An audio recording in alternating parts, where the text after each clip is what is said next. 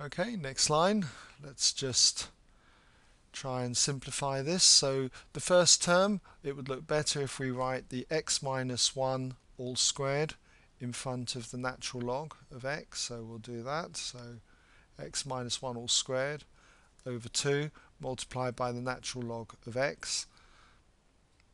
And then cleaning up this integral, I'm going to take out the constant 2. You don't have to do that, but I feel that if you can take constants out, it does leave you with less clutter inside. So uh, minus half times the integral of x minus 1 all squared and it'll be all over x so that will be over x and that's integrated with respect to x so don't forget the dx on the end and uh, mustn't forget the limits. So this is integrated between 1 and 3 there you go.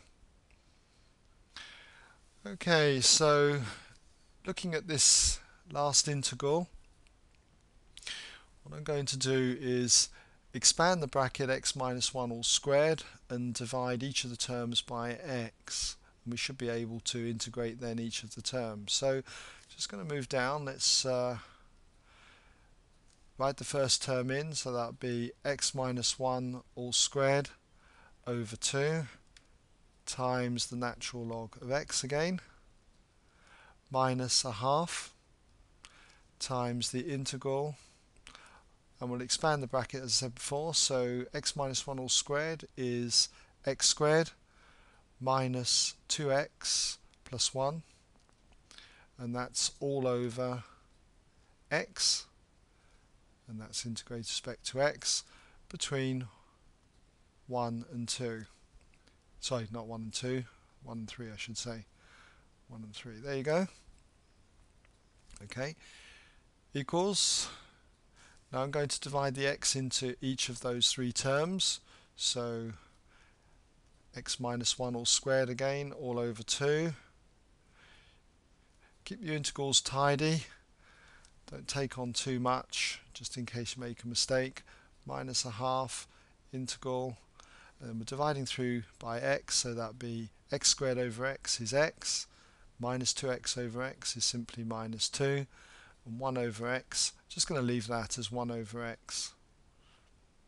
Okay, I could write it as x to the minus 1, but uh, when we get to the integral of 1 over x, you should know that one already.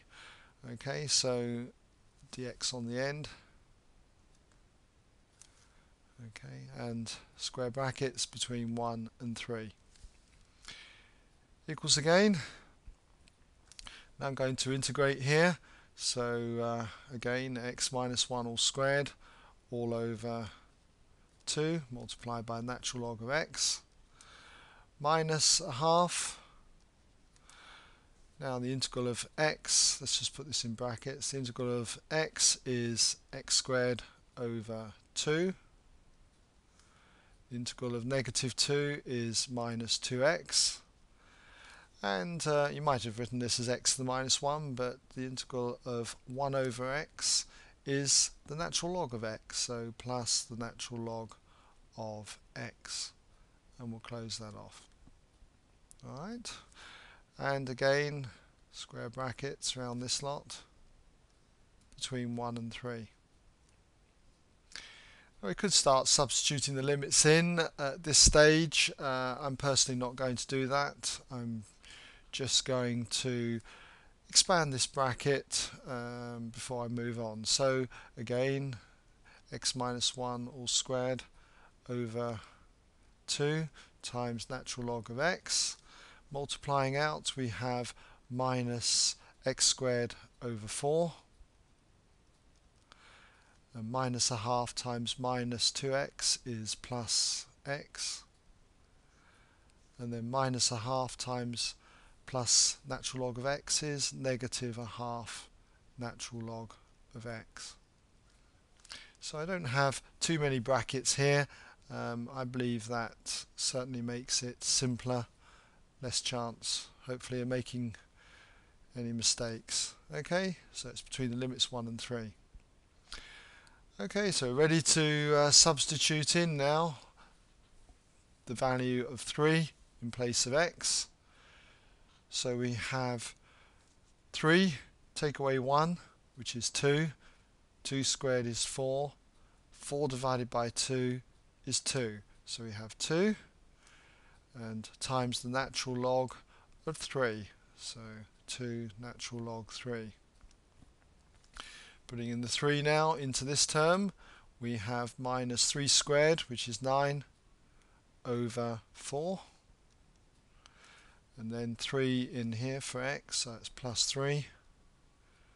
And then minus half the natural log of 3. Now we have minus when we put in the 1 now for x. So I'll put this in some square brackets. Could put brackets around uh, this group of terms, but it's not going to change anything. So putting the 1 through, the first term here, 1 take away 1 is 0, so 0 squared is 0. 0 times anything is 0, so we might as well forget that term. Putting the 1 into x squared over 4 is minus 1 quarter. And then 1 in for x is plus 1 and then 1 in for natural log of x here becomes minus a half natural log of 1. Okay? Equals. Let's uh, just expand this bracket out and we can group together a few terms here. We can group together this natural log of 3 and this natural log of 3 there. So 2 natural log of 3 take away half natural log of 3 is 1 and a half natural log of 3 or 3 over 2 natural log of 3 and then we have minus 9 over 4 plus 3 so I'll just leave that as minus 9 over 4 plus 3 then we have minus quarter plus 1 that's plus 3 quarters. And then we have the minus here. So that's minus 3 quarters if I take it out of the bracket. And then we have natural log of 1 the natural log of 1 is 0, so I can forget that. Okay, I think we're nearly there now. So we have 3 over 2, natural log of 3,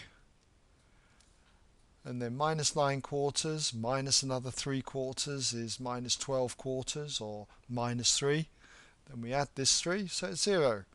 And that's exactly what we wanted to prove we've got the exact value 3 over 2 natural log of 3 okay so hopefully you got that and uh, as I said earlier if you did that's worth 6 marks. So uh, well done if you did that. Okay and that brings us now to the end of question 6